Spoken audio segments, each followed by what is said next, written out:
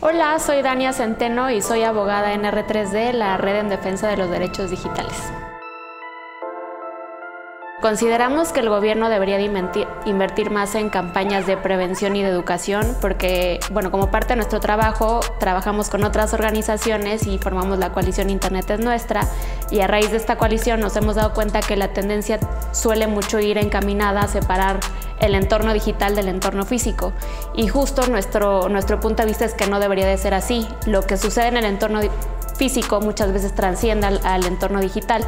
Entonces, lo que hay que atacar o lo, que el gobierno debería enfocarse más en atacar es el problema de raíz, que es que no se perpetúen estos estereotipos de género, eh, cuestiones que tienden a asignar roles de género y que hacen que se perpetúe la violencia que se comete contra las mujeres y esta violencia pues trascienda al entorno digital.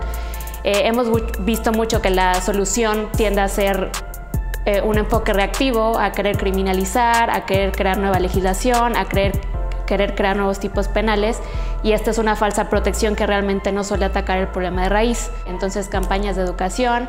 eh, campañas que busquen erradicar eh, la discriminación o al menos atacar, concientizar al respecto, evitar estos, estos estereotipos. Entonces educación, prevención, evitar la discriminación, un enfoque de derechos humanos, un enfoque de perspectiva de género y bueno, justo es esto, un enfoque más preventivo que reactivo. Una política que ya medio ha sido empezada por el gobierno es, están pensando en la creación de una estrategia nacional de ciberseguridad. Si bien apenas está en proceso esta estrategia y puede ser perfectible en muchos sentidos, en la última reunión a la que tuvimos oportunidad de asistir, sí se cubrió el tema de la violencia que se comete en las plataformas digitales y en Internet contra las mujeres. Entonces ya se avanzó un poco nuestra postura es que es solo el primer, o sea, es solo el primer paso, hay que enfocarnos más en esto, que la Estrategia Nacional de Ciberseguridad, aún con el cambio de administración,